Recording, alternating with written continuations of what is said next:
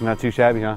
This is one of the larger ones. This is 20 feet span. If it gets really cold, are you putting plastic over it or? This particular one, I don't think they are, um, but you can, this used to have plastic and a shade, so that plastic lasted us about 10 years. They finally they finally redid this last year, was it? Yeah. This past year. Yeah. So it, that that thing lasted us 10 years um, with the with the plastic on it. But it's it's a night and day difference with this thing on. I think you get three uh, benefits three times out of the year. You have spring, summer, and fall. That is, this is really good for. Just the winter, you, you wouldn't you wouldn't grow in it. But at at last year, as long as you have your crops in, um, the spinach at the I didn't even water at, at um, Beaver, and it was all growing on this side by itself. So you, you could cover this with plastic. You could cover your beds with a row cover, and then you have wall of the waters. And then you could put another um, ag fab over the actual wall of waters. So you can do four layers of insulation.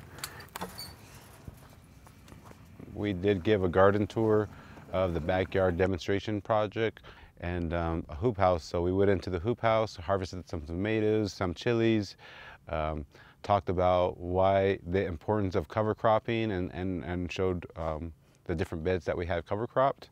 Um, we took the, uh, the group out to go harvest some asparagus seed and just did a, a walkthrough of the garden and the orchard. These are asparagus seeds. See, Oh, okay, I've never seen that. And it takes what, two or three years, you said? yeah, yeah. You want a lot more. Yeah, help yourselves. See, there's like five or six seeds in each one of those balls. Mm-hmm.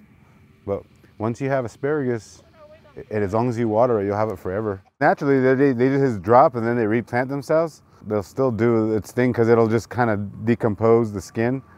It'll just grow like a stalk and then it'll grow the seed.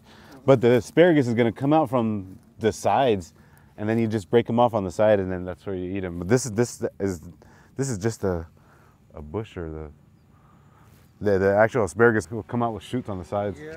Because um, my brother ha usually has some grown in his garden and we just pull them up, Yeah, yeah. In spring, they, it was about two months ago when we had a bunch of them, huh?